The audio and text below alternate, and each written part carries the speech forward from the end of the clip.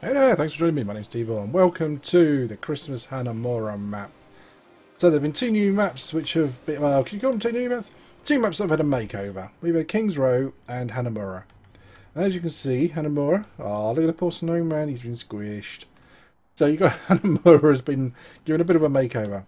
Everything's a little bit snowy and a few little places they've got some extra Christmas lights and other stuff. To be honest, Hanamura isn't as Christmassy as I think King's Row is.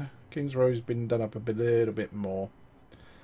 Um, but yes, it has been given a Christmas makeover. You can see there's patches of snow everywhere, snowflakes, snowman hiding behind the rock, just trying to peek out to see if the attacking team is coming.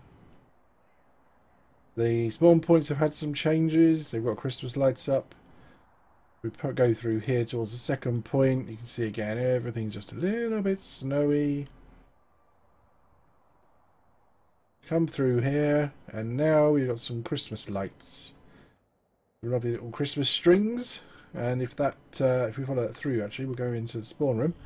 And you'll see in the spawn room here, again, we get some Christmas lights up as well. Other than that, there's not really been any more changes to the Hanamura map.